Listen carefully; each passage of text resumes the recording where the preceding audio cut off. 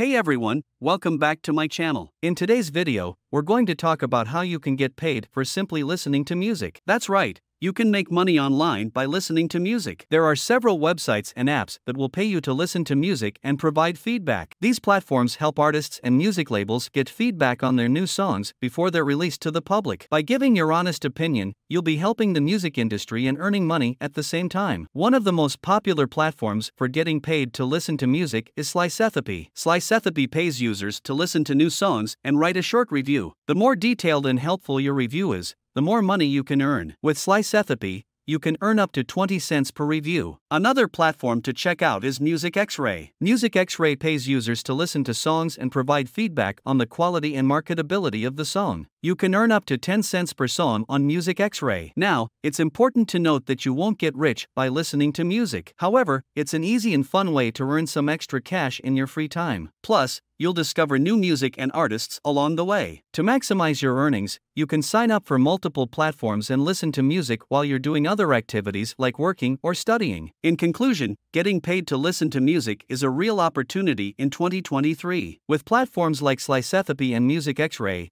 you can earn money and discover new music at the same time. So why not give it a try? Thanks for watching, and I'll see you in the next video.